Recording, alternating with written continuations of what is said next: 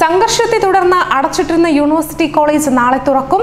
അക്രമ രാഷ്ട്രീയത്തിന് കടിഞ്ഞാളിടുമെന്നും സ്വതന്ത്രമായ അന്തരീക്ഷം സൃഷ്ടിക്കുമെന്നും സർക്കാരും കോളേജ് അധികൃതരും ഉറപ്പു പറയുന്നുണ്ട്. യൂണിവേഴ്സിറ്റി കോളേജിൽ സംഘർഷത്തിനിടെ മൂന്നാം വർഷ ബിരുദ വിദ്യാർത്ഥി അഖിലിനെ കുത്തി കൊലപ്പെടുത്താൻ ശ്രമിച്ച കേസിൽ പത്തു പ്രതികൾക്കായി ലുക്കൌട്ട് നോട്ടീസ് ഉടനിറക്കുമെന്നും പോലീസ് പറയുന്നുണ്ട്.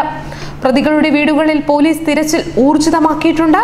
ഒന്നും രണ്ടും പ്രതികളായ ശിവരഞ്ജിത്തിനെയും നസീമിനെയും നാല് മുതൽ ആറ് വരെ പ്രതികളും S F I college unit committee അംഗങ്ങളുമായ Advaith ആരോമലസ് നായർ ആദിൽ മുഹമ്മദ് എന്നിവരെ പോലീസ് അറസ്റ്റ് ചെയ്തത്.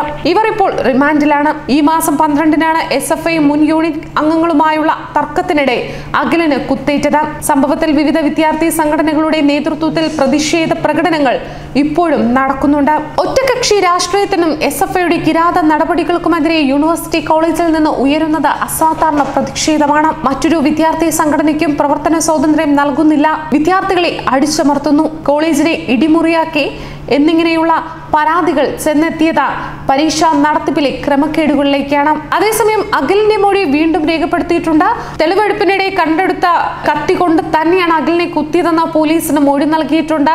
അതോടൊപ്പം കോളേജിൽ നിന്ന് തെളിവെടുപ്പിൽ ലഭിച്ച കത്തിയുമായി അന്വേഷണ സംഘം മെഡിക്കൽ കോളേജ് ആശുപത്രിയിൽ എത്തിയാണ് മൊഴി രേഖപ്പെടുത്തിയതും. കോളേജിലേക്ക് കയറുന്ന ഭാഗത്ത് ഇരുചക്ര വാഹനങ്ങൾ പാർക്ക് ചെയ്യാറുള്ള സ്ഥലത്ത് ചവറുകൾക്കിടയിൽ മണ്ണിൽ താഴ്ത്തിയിരുന്ന കത്തി ശിവരഞ്ജിത്ത് തന്നെയാണ് പുറത്തെടുത്തത്. അതേ കത്തി കൊണ്ടാണ് തന്നെ കുത്തിയതെന്ന് അഖിൽ അന്വേഷണ സംഘത്തിന് മൊഴി സ്ഥിരീകരിച്ചു. സംഭവത്തിൽ ഡോക്ടറുടെ മൊഴിയും പോലീസ് രേഖപ്പെടുത്തിയിട്ടുണ്ട്. സംഭവത്തിൽ ഒരാഴ്ചക്കിടെ ഉന്നത വിദ്യാഭ്യാസ മന്ത്രിയും കേരള സർവകലാശാല വി സിയും നേരിട്ടെത്തി ഗവർണർക്ക് വിശദീകരണം നൽകിയിരുന്നു.